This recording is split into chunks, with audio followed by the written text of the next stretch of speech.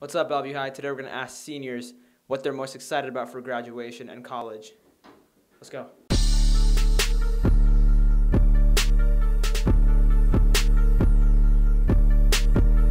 I'm here with Brady the Thick Man Foster. Brady, what are you most excited about for graduation and, and college? What am I most well? So college, of course, I'm excited. Uh, I'm going down early in summer to go do some training, so that's gonna be pretty fun. Sure, I'm just trying to chill out and start living my life. You feel me? Yeah, I feel that, dude. 2019. Well, that was, that was Brady the Thick Man Foster. We'll see you around at what college you're going to? San Jose State University. San Jose State University. Make them proud.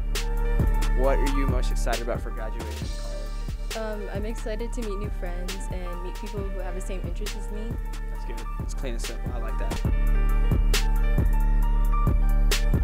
What are you most excited about for graduation and college? Um, I'm excited to get out of here and start fresh and meet new people.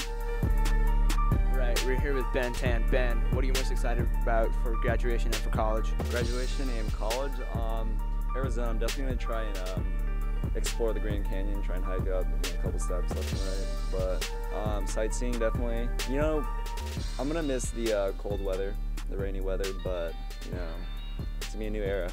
That's good. That's that's, that's a good answer.